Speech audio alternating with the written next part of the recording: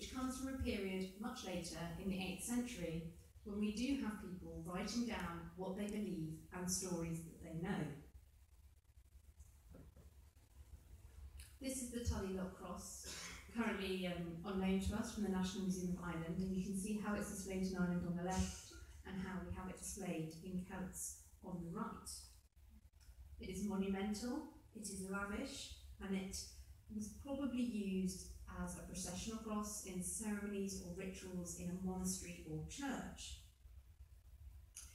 We know from this period that most people were practicing Christians in Ireland where this was found, and so we can begin to unravel the stories that it told, tells. And I just want to mention a little bit about how this object was found. It was found by divers diving a lake called Tully Lough in Ireland in July 1986. Um, but unfortunately, it did not immediately end up in the National Museum of Ireland and was not properly reported. And in fact, it was only discovered when the finders tried to flog it to the Getty Museum in America, and one of them was subsequently prosecuted. That meant that luckily for us, it did find its way to its proper home in the National Museum of Ireland, but in a much fragmented state. And there was hours and months of conservation that went into rebuilding this object into what you see today.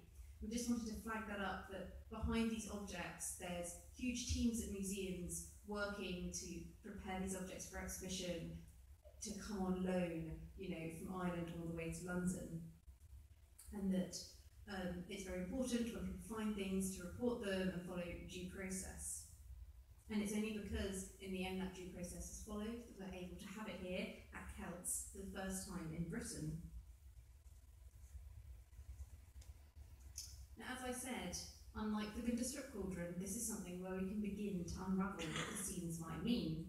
This is a close-up of the top, and you can see it's decorated with a number of metal plates. Some of them are bossed, some of them are interlaced, but two have these panels of a man facing forward with his hands by the side of his head and two serpents coming up beside him.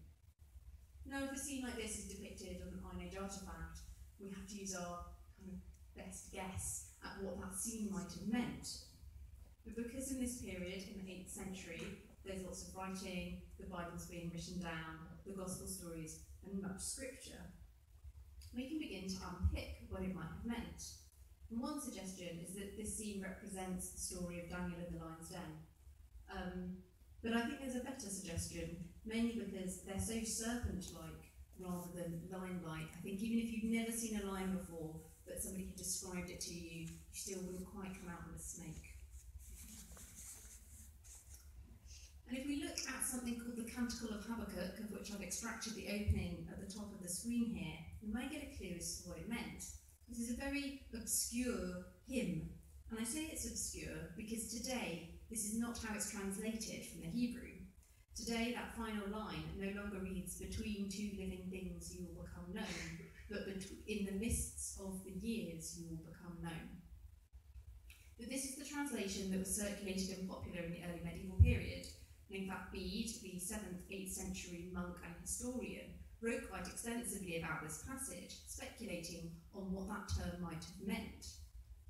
He thought that perhaps it referred to Jesus' crucifixion, where he was between two thieves, and perhaps it was between these two thieves, these living things, that he became known as Christ.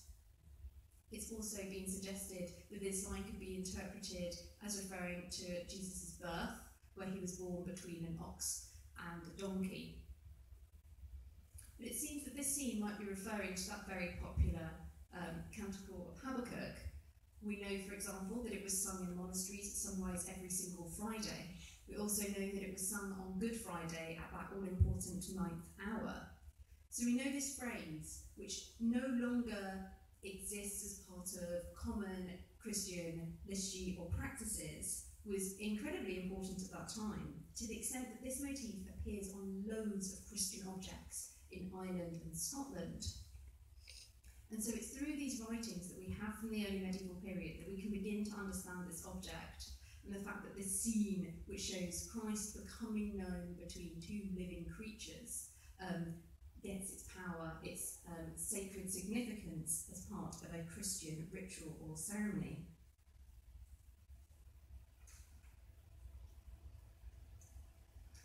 Part of the importance of the discovery of the Tully Lough cross just under 30 years ago is the fact that it demonstrates something that art historians and archaeologists have always speculated, and that is that the monumental high crosses that today are still familiar in the landscape of much of Scotland Ireland, and England were based on metal examples. And I'm really pleased in the exhibition we were able to display these two objects in a way that you can draw your own comparisons between these objects. So on the right here we have the cast of St John's Cross from Iona, um, monumental in scale, absolutely massive. And then to the side, the Tully Lough Cross. When you look at the details of the design, they're very similar. Both have these cusped or cut out arms. So here we've got the curved arms here and here. They both have the four bosses on the arms and one in the centre, perhaps a reference to the wounds of Christ on the crucifix. And so it shows how discoveries like this get made and they either reinforce our kind of suspicions when we're studying this material or can change our mind. And that's why something like this has been so important for the study of early medieval art. How two different object types across two different mediums, stone and metal, actually share a lot in common. And these designs aren't restricted to just the stone and metal objects of the church. They're also used in books. So this is the next object I'm going to talk to you about. This is the St Chad Gospels on loan to us from Lichfield Cathedral. we're very lucky to have it because it's still very much part of cathedral life and it's used in ceremonies and rituals there. I think it's probably one of the oldest books still in um, use in a religious setting in Britain though we're not quite sure, so if you know of any others, I would be interested to know. And it's been damaged over its long and varied life, so today it only now contains the Gospels of Matthew and Mark and the beginning of St Luke. And this is the opening page to the Gospel of St Luke you can see here. And these elaborately illustrated Gospel books telling the life of Jesus were central to Christian preaching and teaching in the churches and monasteries of early medieval Ireland, Scotland, and England. The amount of time and resources that went into producing them was extraordinary and demonstrates their importance. The pages are made from vellum, which is calf skin, which would have taken days of soaking, stretching, and scraping. The monks themselves spent many, many days intricately painting these scenes, something which I think was akin to an act of devotion in itself. If you can imagine spending hours working on this one task, thinking about what you're committing to the page, whether it's the opening to the gospel, this absolutely fabulous carpet page here, that kind of concentration is almost meditative. And I think that it was similar to prayer. We know that they would have used expensive and exotic pigments, and they would have been incredibly rare even in their day and valuable objects. So it's even more lucky that we still have it today. Very few of them survive, and I'm sure you probably know by name the others, the Book of Kells and the Lindisfarne Gospels being the most famous. This book was written and decorated in the 8th century between the Book of Kells and Lindisfarne.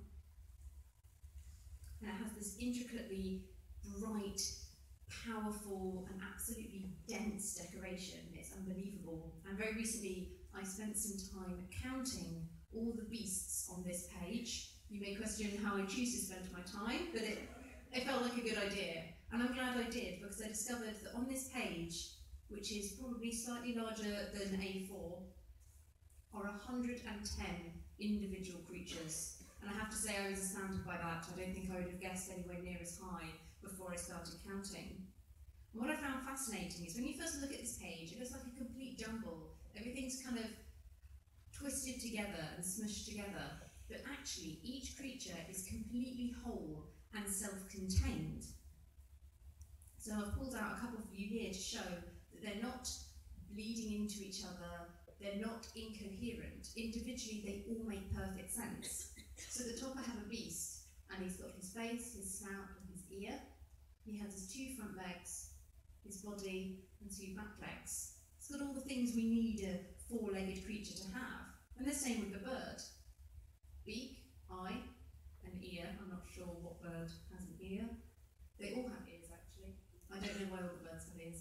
Then they have this long neck, the wing down here, and then the two clawed feet at the front.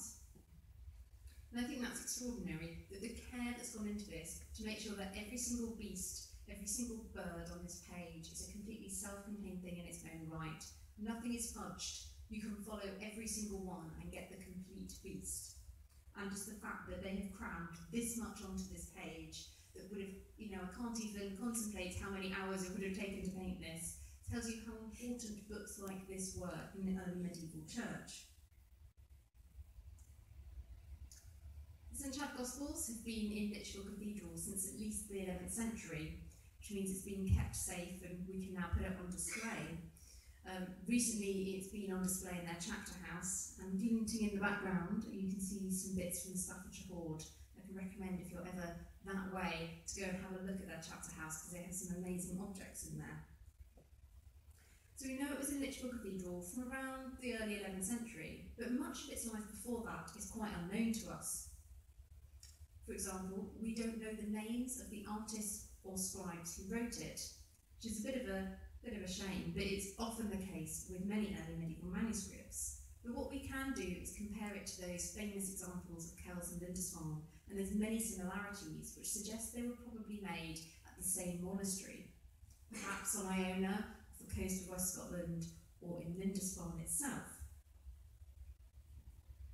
But we have some other clues to what this manuscript had been up to before it ended up in Lichfield Cathedral, from the inscriptions in the margins. Now this book wasn't created close shut and never added to again. In fact, over many centuries of its life, people have been writing things in this book in the margins for many centuries.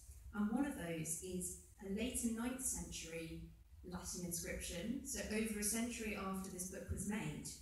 And it records that the manuscript was presented to the, uh, the altar of St. Teilo in Wales by a man named Gelhi, who had bought the manuscript for the price of his horse. Now we know that at this time these books had been incredibly valuable, so he must have had a very good horse or somebody who didn't really understand what they had.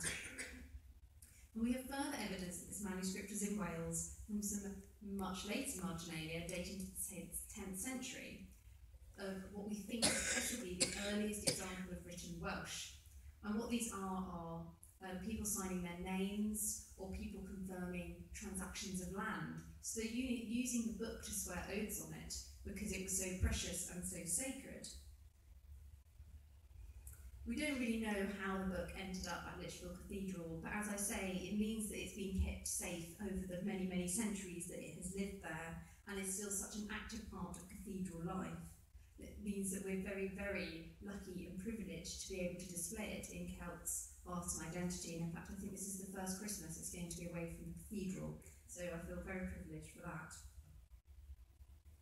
So now I'm going to move forward in time, much forward in time, to much recent history, to look at my final object of this amazing statue of Caractacus, made in 1859 by John Foley from Mansion House, where the Lord Mayor of London lives.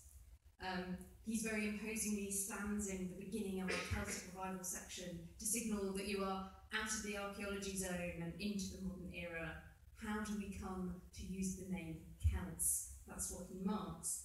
And I've chosen him as my final object to talk to you about for a number of reasons. Not only his imposing size, but also because to get him out of Mansion House, we had to close the road, remove a chandelier, winch him down the side of the building, all outside bank. um, I'm surprised they let us close the road. So it took tremendous effort to get him here, and we're very glad he made it. So I thought he deserved to have a bit more time in the spotlight. Now, Caractacus ruled over a large part of southern Britain between AD 43 and 47, and he led local resistance against the Romans. He was pushed into Wales, where he led further rebellions and further resistance to those terrible Roman invaders. But he was finally defeated and he fled north, where he thought he was safe. Unfortunately, he was not safe as Cartimandua, queen of the Brigantes, you know, told him, told him she would keep him safe, but instead rushed him out to the Romans, who came to collect him on behalf of Claudius. He ended up in Rome pleading for his life, and Tacitus, who records the stories of Caractacus, gives this his final speech. And this final speech is shown to be very powerful subject in art. This is an engraving, for example, which took on the scene. And his speech to Claudius was so powerful that he um, let him go, spared him his life, and Caractacus lived the rest of his days in Rome. But the memory of Caractacus didn't live past the Roman period. After Tacitus wrote him down, he largely became forgotten until his memory was resurrected after the classical texts were rediscovered, translated, and printed and disseminated more widely. From the mid 18th century onwards, he became a British hero and the subject of many paintings.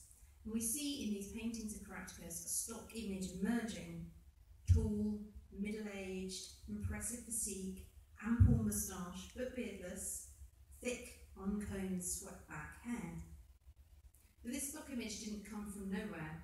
It was inspired by classical depictions of the ancient Celts and Gauls. And this is the Dying Gaul, a Roman copy of a bronze Hellenistic sculpture one of the most celebrated works of ancient sculpture to survive from antiquity, and it's engraved and endlessly copied by artists who were inspired by his impressive form and his display of strong emotion. And as these engravings were made, published, and disseminated widely, it came to cement this kind of image of the idolised noble warrior, noble Celt, and noble Gaul. And when we compare the dying Gaul with his moustache, his torc, and his floppy hair, with other images of him, we can see how he was transformed from a classical depiction through this kind of Victorian romantic lens to end up like Caractacus as we see in John Foley's statue.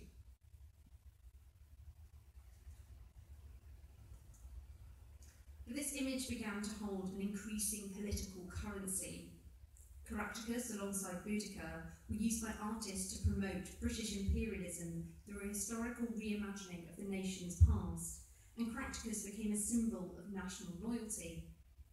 And it's surely these associations that led the Corporation of London to commission Foley to produce this statue for the Lord Mayor of London's house.